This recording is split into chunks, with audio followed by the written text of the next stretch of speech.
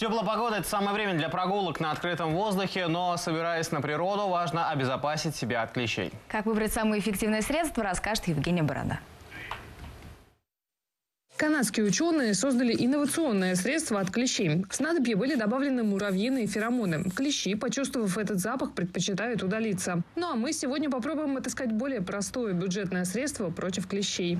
Собираемся на пикник в лес.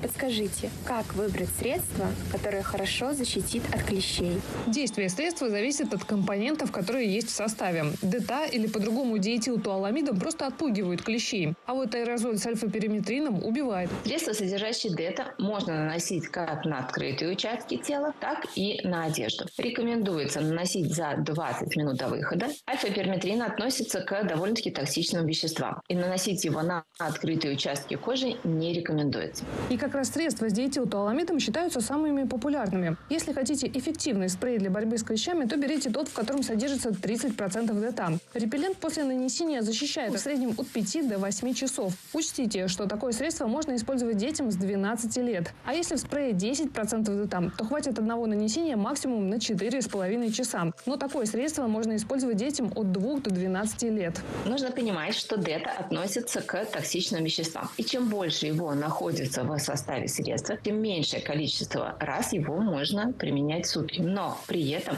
оно дольше действует. Средство с ДТА лучше наносить на кожу за 20 минут до похода на природу. А вот спреем с альфа-периметрином можно обработать палатку или одежду. Вот только стоит это делать как минимум за 24 часа до пикника. Следует учитывать, что альфа-вермитрин сохраняет свои свойства на одежде даже после ее стирки. И не рекомендуется стирать одежду, обработанную альфа-перметрином, вместе с другими вещами. Кстати, можно найти в продаже и натуральные средства с маслом лимонного эвкалипта. Они тоже вполне эффективно могут отпугивать клещей. Евгения Борода, Екатерина Макарова, Москва, 24.